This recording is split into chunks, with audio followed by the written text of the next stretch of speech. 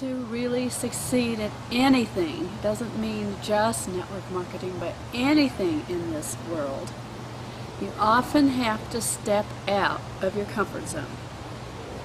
And I like to rename that as the dead zone because when you are in your comfort zone and you're not growing, you're definitely not succeeding at anything and you're going backwards. Or you're even possibly dying a little bit inside because you're losing all of your confidence and your skills, the things that are really important. So yes, it's fearful to do something new that you're not used to.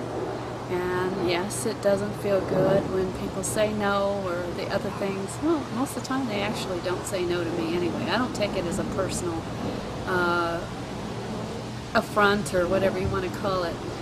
It's really they're saying no to themselves anyway, aren't they? And so how does that have anything to do with your own comfort? You don't really have to take it as a personal thing at all.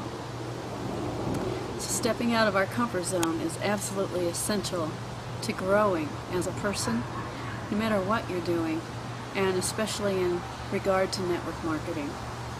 You have to do something new. And I can tell you, you have to do something that requires building a relationship with people. Because